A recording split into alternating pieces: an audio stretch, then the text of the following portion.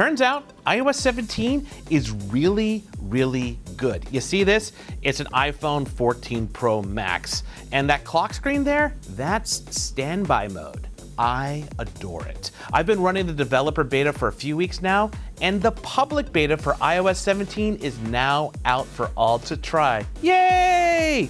Though, I recommend checking it out on something other than your main iPhone because it is still a beta and there are still things being worked on and bugs being addressed. So, you know what I want to do today? Well, besides go to the beach, I want to show you a handful of my favorite iOS 17 features that truly bring me joy. Also, I want to try a couple of iOS 17 features out for the very first time. What could go wrong? So, join me, will ya? Now, I'm not going to go exhaustively over every feature in iOS 17. I already did that in another video, which you should watch. Instead, I'm gonna show you the good stuff. You see, nearly everything in iOS 17 falls into one of four categories for me. There are delightful features, intuitive improvements, personal additions, and helpful tools. Kind of sounds like Jeopardy categories. Potent potables for 200, please. Now, those categorizations are things I made up, but all of this adds up to an iOS that is a major quality of life improvement. But enough of my jibber jabber. Let's get into it and start with a couple of delightful features. Your iPhone has a home screen, a lock screen, an always on display if you have an iPhone 14 Pro, and now a standby screen. So when I turn my iPhone on its side while charging, the standby screen pops up. It's basically like a giant clock, but it can show photos, a calendar, widgets, and notifications. It's perfect for a nightstand, a kitchen counter, or in my case, my desk. Oh, and the stand I'm using to charge my iPhone is the Belkin Boost Charge Pro 2-in-1. You don't have to use this stand. Any stand with MagSafe should work. But what I really like about Standby so far is how everything flows. If I want to change up the standby screen, I can swipe up to select a different style or layout. It can display my photos and live activities too. When in low light, like when you're sleeping, the standby screen turns red. Another delightful feature is stickers and messages. Now, stickers are not new, but there are more of them, including being able to use emoji as stickers, which is great when you want to express something more than a thumbs up, thumbs down, heart, laugh, ha ha ha ha, or exclamation points and question marks on a bubble. All of the mini iMessage apps are no longer above the keyboard. They have their own dedicated menu. Tap the plus sign button to pull it up, then I tap on stickers to get a tray of stickers and customized stickers that I made from my photos.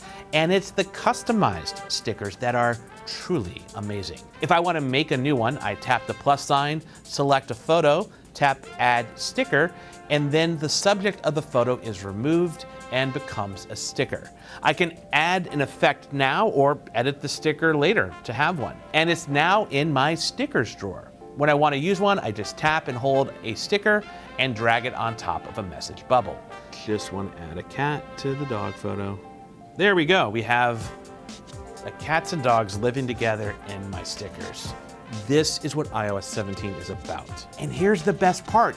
You can use a live photo to make an animated sticker. I mean, this is so addictive, and I foresee a future where there are hundreds, thousands, millions of customized animated stickers being sent between iPhones. Now, let's jump into some intuitive improvements. Sticking with messages, a small but potent feature is swipe to reply.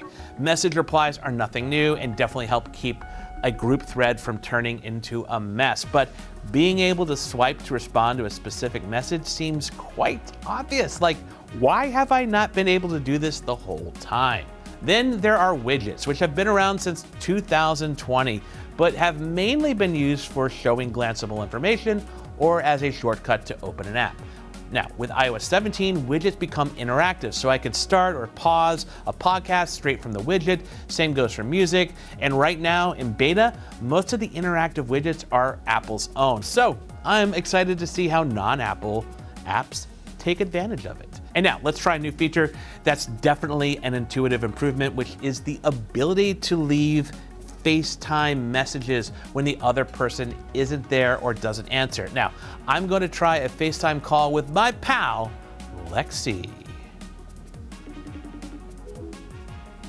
All right, so now there's a uh, call again, close, or a record video. I'm going to hit record video. It's counting down. Hey, Lexi, this is Patrick. You can kind of see the top of my hair here, and this is a top-down camera here, and we're filming the iOS 17 hands-on with the public beta. I just wanted to share this with you. I think this is a fantastic moment. I'm just having a really good day, and I just want you to know that. All right, I'll talk to you later. Bye. Cool. And then it says save, cancel, retake, or send. I'm gonna tap the little send button. In a moment, we'll have Lexi show us her side of the things so we can actually see what she sees. Hopefully, it's the video. I just wanted to share this with you. I think this is a fantastic moment. I'm just having a really good day, and I just want you to know that. All right, I'll talk to you later. Bye. Hey, that was pretty fun. Now, let's check out some personal additions. The first are contact posters. Now, this basically turns your mundane contact card into a mini movie poster. And you can select between a few different templates, like ones that show your initials or emoji or a photo of your choosing. Now, this reminds me a lot of the lock screen customizations we got in iOS 16. And your contact card can have a contact poster and a contact photo. And you can share your contact poster using NameDrop, which is kind of a cross between AirDrop and Apple Pay, sans the credit card information. Now, I can hover my phone over someone else's phone, similar to how you trigger Apple Pay at a contactless payment terminal. And I can share my contact poster. Let's try it out. You can select the specific phone number or email address you want to share in the moment. And if you want to just receive someone's information and not share your own, you can simply tap receive only. Another personal addition is aimed at people with pets. Who doesn't love pets? And the Photos app can now identify and find pet photos better. Now, if I tap cat, it pulls up all the photos of cats on my phone. Hmm, only 562? Would have thought there would have been more. Guess I really don't love cats. Also, when you pull up a photo of a cat, there's a new visual lookup icon with a tiny cat silhouette and a similar icon for photos of dogs. And related slash unrelated is that there is now a photos widget for albums. Once you add the widget to your home screen, you can edit it to show photos from a specific album. Again, why has this not been on my phone the whole time? Next, let's look at some helpful tools. Okay, this first one I am stoked to try, and it's live voicemail transcription. Essentially, when someone calls and leaves you a message, you'll see a live transcription of the voicemail as they speak and record it. And if it turns out to be something you want to address, in the moment, you can pick up the call and talk to them at any time. So let's give this a try and see it in action. And for this, I'm gonna pester my pal and CNET principal video producer, John Kim. You want for lunch? Okay. Patrick? I've been texting you this entire 10 minutes. I don't know why haven't replied. Again, you need ketchup to fries? Turns out my voicemail, pretty impressive, but that's not the only helpful tool. There's the messages catch up arrow. Not catch up like you put on fries, but catch up like I'm running behind, I gotta catch up. Now, this arrow is great for long threads where you need to catch up. Just tap the arrow to go back to the first unread message. And then there's check-in, which lets a friend know automatically when you've arrived at a destination safely. Now, I haven't tried this out yet, so let's do it now. Hey, this looks a little bit different. I'm outside the studio. I'm actually on Market Street in San Francisco, and I'm about like four or five blocks from the office. So I just did a check-in with my pal and colleague Lexi Savides, and uh, we're gonna see on her end what she receives, and I'm gonna head back to the office and see what happens with check-in. Wish me luck. And I've arrived at my location. It was pretty interesting and easy to try check-in. That is really impressive tool, and I think it's going to help a lot of people in a lot of different situations stay very safe and feel more comfortable.